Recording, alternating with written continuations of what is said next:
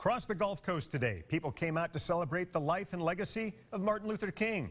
As News 5's Debbie Williams reports from Mobile to Fairhope to Pensacola, marchers are still hoping King's dream will one day be realized. The port city streets filled with songs, signs, and young people honoring a civil rights icon. I think we have made some progress. I don't think we have arrived and the dream has been completed. I think there's still a lot of work to do. That work, the focus of celebrations and ceremonies across the Gulf Coast. We are a diverse un uh, United States, and we need to learn to live together, work together, and put the hate, racial motivation aside, and let's just come together as one.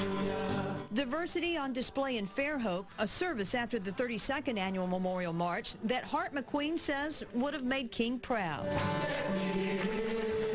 My favorite quote of Dr. King says that we must come together as brothers or we will perish together as fools. The celebration continues in Pensacola. Bands and military units took to the streets of downtown. For us to all come together and celebrate this day is important. This year marks the 50th anniversary of the assassination of Dr. Martin Luther King Jr.